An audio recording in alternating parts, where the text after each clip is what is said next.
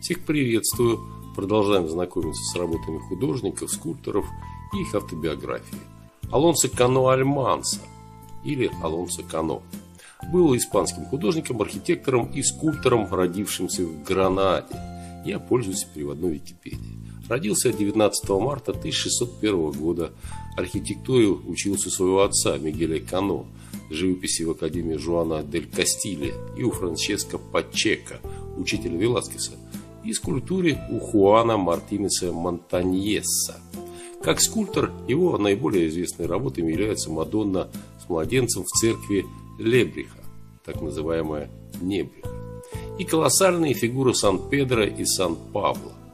Стал первым королевским архитектором и художником Филиппа IV, инструктором принца Бальтазара Чарльза, принца Астурийского. Король присвоил ему церковное звание Гранадского собора каноника, чтобы занять должность главного архитектора собора, где его главным достижением в архитектуре был фасад, спроектированный в конце его жизни и возведенный по его проекту после его смерти.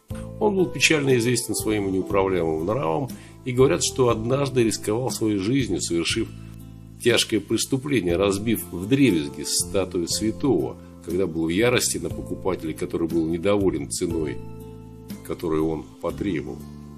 Согласно другой истории, однажды вечером, вернувшись домой, он обнаружил, что его дом ограблен. Его жена убита, а слуга-итальянец сбежал. Несмотря на презумпцию невиновности в отношении беглеца, судьи осудили Кано, потому что он был ревнивого нрава. По всей видимости, он проучил слугу.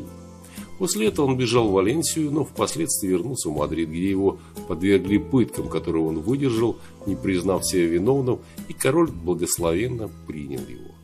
После смерти своей жены он принял священный сан в качестве защиты от дальнейшего судебного преследования, но все же продолжил свои профессиональные занятия умер в 1667 году. В свои последние минуты, когда священник протянул ему распятие, он сказал ему убрать его, потому что оно было плохо вырезано. Согласно католической энциклопедии, умирающий Кано отказался от причастия у священника. Но, вероятно, эта версия ложная, как и многие другие, о его жизни и темпераменте. Ну, вот так, такие данные я взял из переводной Википедии о испанском художнике, архитекторе и скульпторе, который родился в Гранаде, Алонсо Кана Альманса или Алонсо Кана или Кано. Пока-пока, до свидания.